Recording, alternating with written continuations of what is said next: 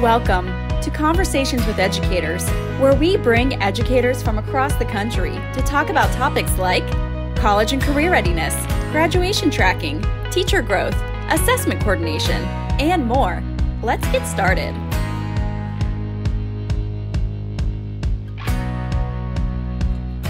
Okay, Melissa, I think we're going to go ahead and and get started. Um, okay. Again, thank you all for for joining us today uh, for another session of conversations with educators. And we're really excited about this topic today uh, because we know that it impacts many, many of you. Um, so we're going to go ahead and um, talk about college career military, or CCMR, as we lovingly uh, refer to it here in Texas. Uh, we know that there are also many other states that are now uh, looking at those accountability measures as well. So I, I think the strategies and some of the ideas shared today is going to be beneficial for for all of you. So what we're going to do today is um, we're going to visit with our guest speaker is Melissa Foster, and she is well, she's had a variety of leadership roles in in districts and um, former teacher and counselor. Melissa, share with us a little bit about yourself. Hi, everyone. Um, like Kim said, I'm Melissa Foster. I've uh, been in education for 23 years. 11 of those have been as a third grade and kindergarten teacher. Um, 10 years have been devoted to school counseling, where I've been a um, college career counselor and the lead high school counselor, and I've been a, a middle school counselor as well. Then I moved up in administration as an assistant principal at Mineola. And then I've been the CTE coordinator on the campus. And then um, this is starting my second year as the director of curriculum instruction. I oversee the counselors and I am the district CTE coordinator. So I have assisted the CTE director um, for many, many years. Yes, and thank you so much time. Uh, thank you so much for taking the time to share with us today, Melissa. Um, I know that you wear many hats in the district, as many of our participants do as well. So, um, what we're going to talk about today is uh, just some baseline understanding of CCMR. Then we're going to really dive into what is the counselor's role in this process because there are so many different accountability measures and data points, and then some of the keys to success that Melissa has found. So um, following that, we'll have a live Q&A where you can drop in some questions specifically for Melissa around CCMR. And uh, we just look forward to the conversation. So Melissa, start out and just kind of um, help us understand CCMR. I know there's lots of changes that that happen on a regular basis, but um, give us that um, overview and maybe some of the new specifics. Okay, so as we know in Texas, CCMR indicator stands for college, career, and military readiness. We have the college readiness piece where um, if you meet the indicator on AP tests where you score a three or higher or a four on the IB test, then you can earn a college readiness point. Um, the TSI, um, Texas Success Initiative, the overarching uh, testing component, which composes of SAT, ACT, and then TSI. You can meet the college readiness scores in reading or math and you can um, use one from each section. So what I mean by that is if you if the student scores well in the SAT reading and then the TSI math, then you can count that together. Then you have your dual credit options where you can have three hours of reading or e English 1301, 1302 that counts for that, or three hours of mathematics course, or nine hours of dual credit in other areas. Um, that's where you just have to be sure that all of that's being coded in PEIMS correctly. Um, college readiness can be deemed by earning an associate's degree or Texas on-ramps. And I'm not fami as familiar with Texas on-ramps because we don't use it, but it is a, a definitely a viable option for uh, lots of school districts. Um, then career readiness can earn you a point, um, and that can be earned through the IBCs aligned with the programs of study. Um, level one or level two certificates that they earn through their dual credit opportunities. Um, your special education students, if you code them with primarily we use 54s and 55s, um, that earns their CCMR point. Um, or there's a different one where you graduate under an advanced diploma as a current special ed student. And then we're very excited that military readiness is actually back um, this year. So if you enlist in a military branch and you secure their DD1 form and that's uploaded into Teal, then you can count that as the CCMR point. So that's just a brief overview reminder of what the CCMR indicators are. And so I made some um, notes about some changes that um, are ongoing through this year that I wanted to, to bring up.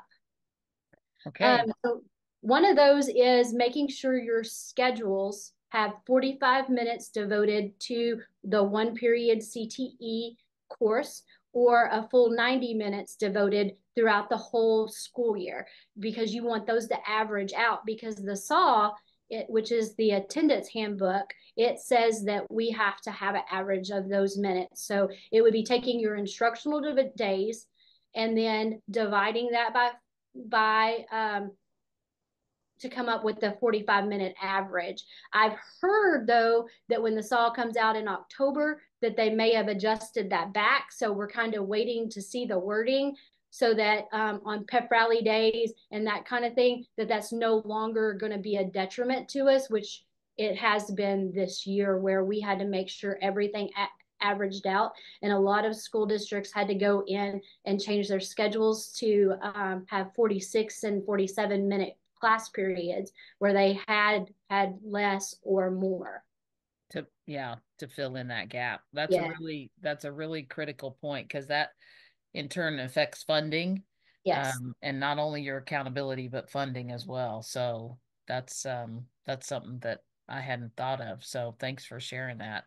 Um all right so that's an overview of ccmr but how do we get counselors up to speed because I know there's a lot of new counselors and counselors are changing positions or moving into the high school level in particular.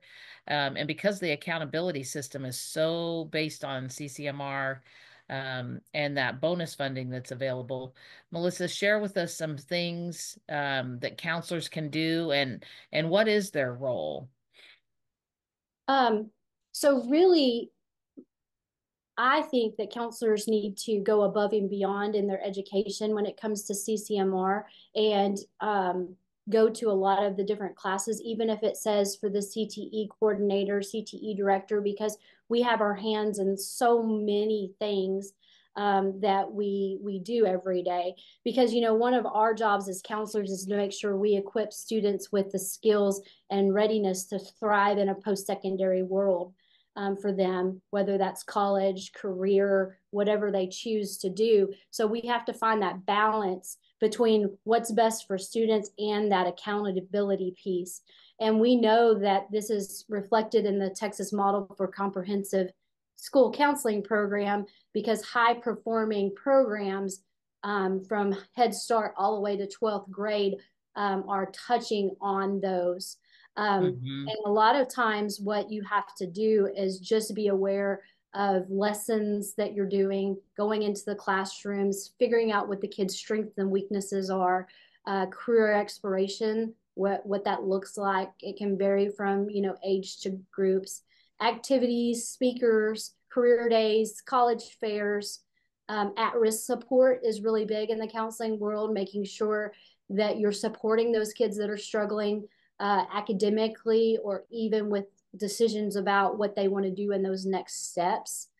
Um, course selection is a big deal, um, especially starting middle school and then some bigger schools that actually have some course selections in their intermediate um, sixth grade area. Um, endorsement selection is a big um, factor into CCMR. And then also college assistance, making sure that you're providing the kids and the parents with um, information about FAFSA and um, their choices. Um, I know that like UT Tyler um, provides Mineola with a six academic success coach, a career counseling. And so that's a big support to um, Mineola students because they come, I think they're coming twice a month now. And they actually sit with them in our student center library area and they are talking with them and following up with them about, hey, can I help you with your FAFSA or can I help you with college applications? So reaching out to your local um, college, uh, whether it's the community college or a close university, they may have a program where they can help you um, assist your counselors with doing some of these things. Um, and then that leads to helping with career assistance as well, because you can have conversations with the students about what program or study they want to have and that's helping select them so they make it to that practicum level and they're exploring careers. Yeah. What are some specific things that you all have done to assist with that um, coaching of students and formulating that graduation plan that's required you know of eighth graders and um, what are some specific things that you guys have found to be successful so um, we really um, start early with our career exploration piece at the lower grade levels. I know a lot of times, um, a lot of uh, presenters are going to talk about like wearing college shirt days and that kind of thing. But we need to be more intentional with that with the young kids, um, where you're having those conversations about what your t-shirt means about why did you pick that school so that the teachers are putting that out there because a lot of times we know as educators the students are only know about the college experience or the job experience of their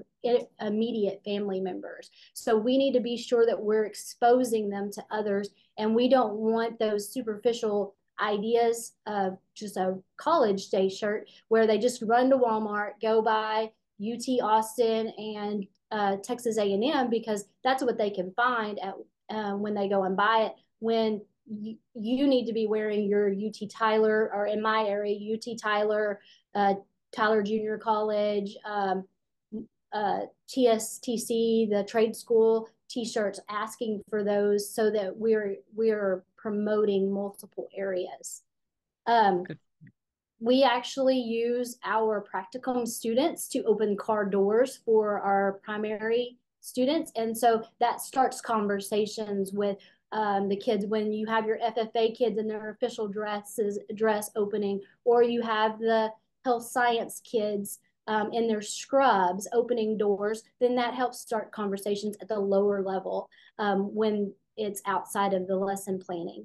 Um, a big thing that we really do is we um, make sure that at the middle school level that we um, focus on career exploration.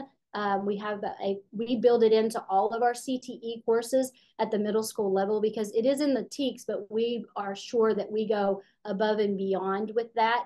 Um, where we're focusing on our CTE programs of study that we have, and the kids, once again, our practicum kids are going into those middle school CTE mm-hmm. classes and visiting with them. Um, we have our parent nights um, at the eighth grade level where we go through high school expectations. The um, parents can then tour all of our CTE programs um, and we have a day where we bring the, the kids over. Most of the time we explore with those eighth graders. They come over and rotate through all our CTE programs.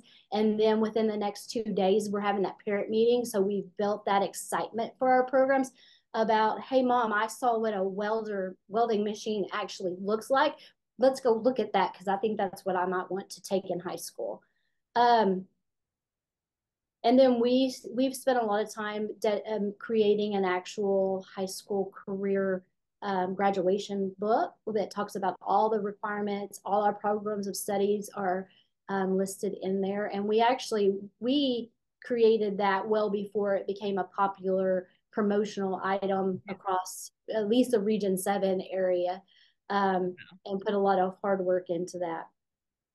Um, at our high school, and we are a smaller district, so um, it would take a little bit of work for a bigger district, but we have a lot of small group meetings and try to do more individual meetings where we're learning what the kids want to do. Because I believe in high school, sometimes you need to learn as much about what you want to do as much as about what you don't want to do or what doesn't excite you so that can steer your path. Because if you are in health science and you figure out that you can't stand the sight of blood, it's better for you to figure that out as a freshman and a sophomore than it is for you to wait till your practicum or your college hours um, that nursing is not for you so that you can explore maybe other health science avenues. Right, that's true. Um, and then we try to offer several parent meetings throughout the year uh, where we're uh, pushing out FAFSA information, um, endorsement information, programs of study information. We try to have one in the fall and then one in the spring. Um, usually our one in the fall. We have two in the fall, one's FAFSA and then one's directed strictly towards seniors and all the information that they need. And then we have one in the spring that's um, 9th through 12th where we're disseminating all types of information. That's great. And then as far as the celebration after those uh, graduation plans are completed? Um, so we um, we celebrate that by making sure that they know that they can, if they stay in a program of study, that they'll get a graduation cord, um, a CTE cord for that once they hit uh, being in there for four years and earn their um, IBC. We celebrate that way.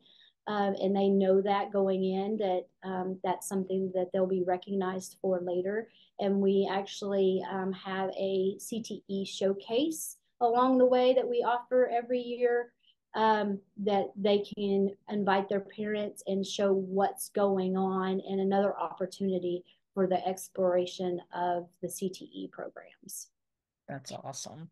Um, how do the counselors at the high school uh, guide that process? Because that obviously is a lot of additional things in addition to, you know, the um, social emotional well-being and guiding students and all the other things on their plate. Uh, how do you uh, how do you orchestrate that so that counselors can be organized and what have you found to be beneficial? So when i was when i was the campus counselor i had to organize this in a spreadsheet and i was tracking the data before the state pushed out their version of it with the ones and the zeros. Um, and then as y'all know you have OnData Suites that you can pull reports from and all these other places that you can pull reports. Well then i started turning that spreadsheet into where I started piling all that information into one. And it was a lot on me to be able to do that because I was hand entering all that information. Um, but it was better for me to have it all in one place than having to look for this for the SAT scores, look for here for the dual credit, and look for here at somewhere else because I wanted to be able to look and see um, Melissa Foster has this, this, and this, and so she's on track where she needs to be, or I need to have a discussion with this child um, towards that. And I will tell you that after switching to pathways, um, that with the dashboard and that all being in one spot and so much better where it's not hand inputting everything that that has been such a blessing to our campus counselors um, to be able to do that. I wish that it was um, available when I was having to hand enter all of the spreadsheets. Um, but I definitely appreciate that this is an option for them. Just the the data that's ingested and and then the ability to log and keep track of um, the items because one of the things I know that happens on eh, on an annual basis as districts are selected for those CTE audits. Yes. Um, which is a big part. I know it's not totally related to CCMR, but it is in the fact that you still have to account and um, make sure that you've got students in the in the right courses and look at their completer um, rates and completion, which helps with that bonus funding and the CCMR um, as well. So uh, that's beneficial to have it in in one location.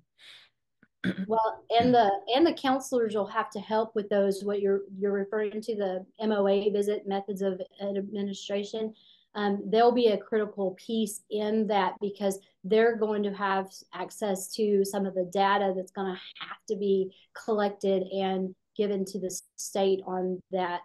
Um, there are other audits which the counselors may be involved in that have to do with um, some of the coursework in CTE, like um, career prep classes. It, you have to make sure, help make sure that the teachers are um, turning in their training plans and those lines because it varies district to district the size of what the counselor's scope is um, because like at a smaller campus you may be wearing all of the hats you're the cte yeah. coordinator um, or the campus coordinator or the person that the cte director is leaning on where the bigger schools you may just be helping scheduling but you need to know these things so that you are academically advising these kids in the right direction Mm-hmm.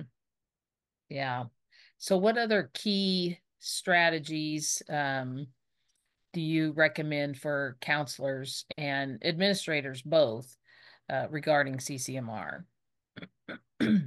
so I really, I really recommend um, going to, like I said before, uh, as much training as you can because the more knowledge you have, the better decisions that you're going to make with CCMR and how to help the kids. And we have to find that balance between what we know helps kids versus where we want to be in the accountability factor because uh, CCMR can um, make a difference in most of the high school level campus accountability and then the district where yeah. um, because in those areas you can if your ccmr score is higher then that's the score that's going to be reflected in those those sections so um, knowing where you are in these areas is very very important making knowing and uh, helping your PEIMS person is very important because a lot of this is reflective of if it's not put into PEIMS correctly and in the right places, then your CCMR, everything that you're doing on the counseling side that looks wonderful is not going to be reflected on the accountability side because it's not going to be there.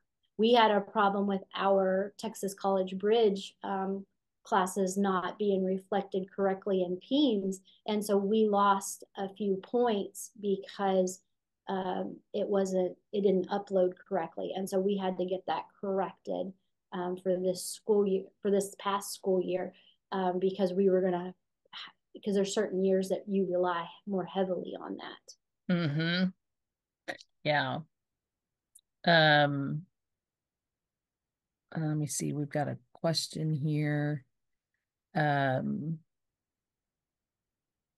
yeah, looking at the data uh, and making sure there's an alignment with PEIMS, kind of doing the audit of the the courses, uh, all of those aspects are are are beneficial.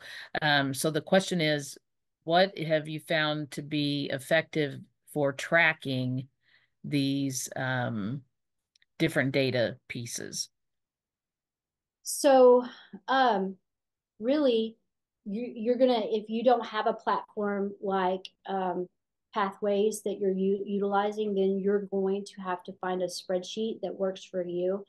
Um, and it, it's going to honestly and it depends on what you want it to be because if you're using like OnData Suites and some you know skyward and you have different information in different places are you okay with looking and knowing you know this kid has a one in this category and then moving on i wanted it all in one spot. So i would have all their sa i hand inputted all their sat scores because i wanted to see you know what that one reflected or what that zero reflected to know how to help them out more instead of having to go to that other place. So it's really about what you want it to do and how much time you want to devote to that um, and remember as a counselor this counts towards your 80% you working on this spreadsheet because you're using this to advise kids um, so that that's a big question with the 80-20. Where does it fit? If you feel like it fits into a place where you're utilizing it and it's a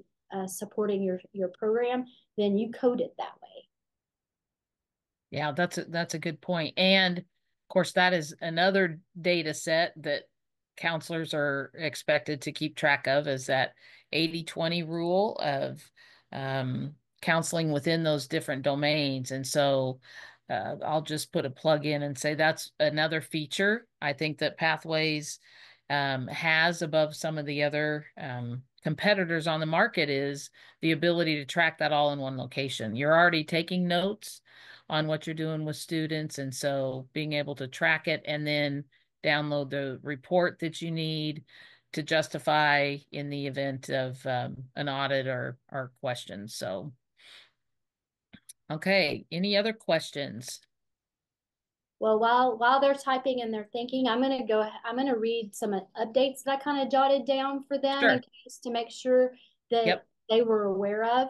Um, make sure that you know your your uh, TSDS information, where your course IDs, your service IDs, you know, that changed to a new platform. So you need to be reviewing those if you have anything to do with the master schedule, because some of your numbers have changed, like the career prep numbers have changed, where like this year, if you use uh, career prep as a standalone class for like work program kids. There's a new career prep called Career Prep General that you need to be coding that. And if you use career prep as a practicum piece, there's a different code for that. So you have to stay on top of those service IDs in case they change because then you'll end up with fatals at the end when they review PEIMS. Um, your certifications, remember that the class of 2025 can be concentrators where it's a line program of study, but they have to meet that two two courses for two credits.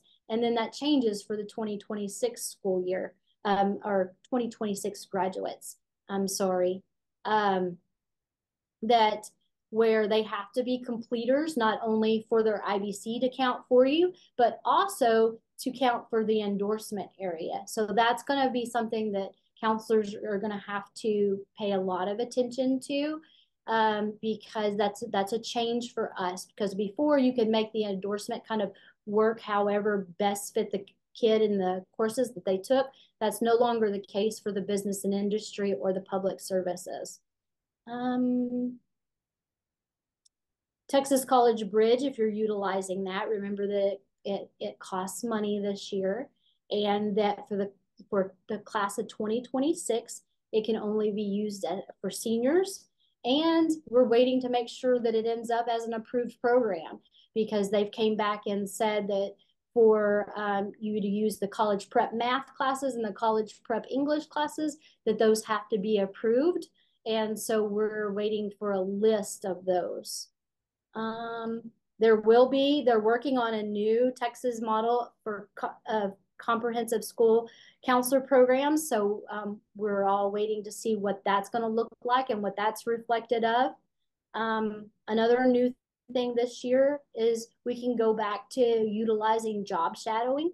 It kind of follows the same rules as college visits. And so um, before we had kind of gotten away from that because there was the big push in the practicum and you didn't know how to um, get the students' attendance.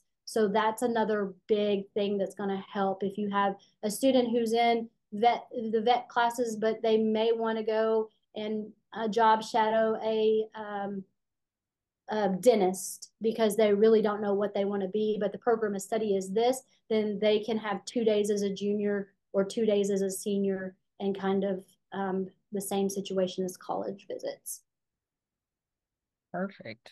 That's great. Thank you for that those updates are ongoing, right? uh, okay, well, we appreciate that. I don't see any other um I see two, I see two two questions. Okay. Um, are the service IDs correct in the CO22? So you need to pay attention in the CO22 what year you're in. Um, because if you're not in the new one, because some of the CTE codes are in a different um, code table um, this year than um, the rest of the academic uh, codes. So if you're still in the 23, 24, and it says it at the top, then you need to find the 24, 25 and um, go from there. And then is there a pathway that is satisfied with dual enrollment classes? Your, your pathways are your CTE courses. So those alone will not get you a program of study pathway. Now, your dual enrollment as an endorsement, that would probably fall under your multidisciplinary endorsement. I'm not sure that I may need some more information on that last question to help clarify that. Okay. Thank you for that. They, those came in right as I was transitioning. So thank you, Melissa. Um, well, we want to be respectful of your time and uh, we appreciate you joining in. Thank you so much, Melissa, for sharing your wealth of knowledge with us. And um, at Education Advanced, we want to make things easier.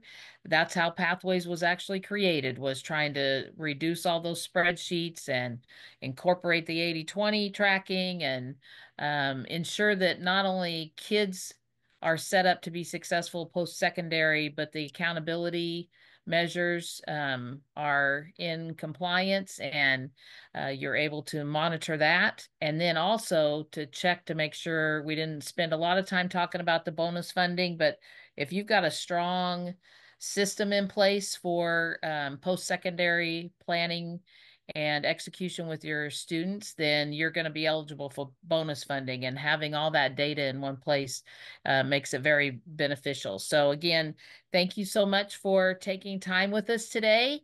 Uh, thank you, Melissa, and you all have a great day. Thanks so much for joining. Thank you. Thanks for joining us. If you want to learn more about college and career readiness, graduation tracking, teacher growth, assessment coordination, be sure to subscribe to our newsletter. Until next time.